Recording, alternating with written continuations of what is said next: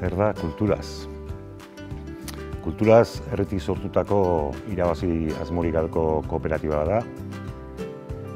Bere xede nagusia euskal edo euskerazko kulturaren sustapena ahalik eta modurik integralnean lantzea da. Eta ez dugola helburu konkreturik. helburua bidea bera da. Hau da, egiteko, egiteko modua. Gure jardueran elkarlan eta parte hartzea eta autonomiaren arteko oreka dugu ardatz nagusia.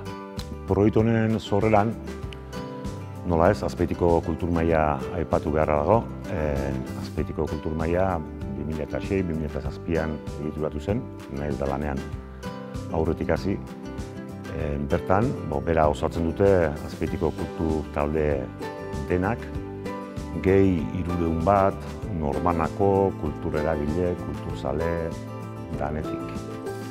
Gehi udaletxeko partido politiko bakutza, unean unean dauden partido politikoak, eta udal kultur tenikaria, naiz eta azkeneko bi hauek boto eskubiderik ez izan.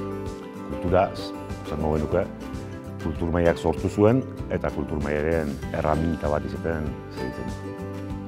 Kultura oso zea zabala da, baina, bueno, gure ustez, kulturarekin, kulturan bidez, pertsonaren garapenean, bueno, esango benuke kulturak, pertsonaren garapenean garrantzia handia duela, gure ustez ez. Orduan, alde batetik, kultura ikusten dugu zerbait garrantzitsuak, pertsonak bere garapenen aurre egiteko, eta bestaldetik menpekotasuna ikusten dugu ba, garapen horri freno bat ipintzeko estrategiari potenteena, ez? Orduan biak batera ezinak dira eta, bueno, esan dezakegu, ba, kultura burujabe bat, hau da, kultur eragileok kultura jorratzea gure buru printzipalena o lehena izan zara, ez?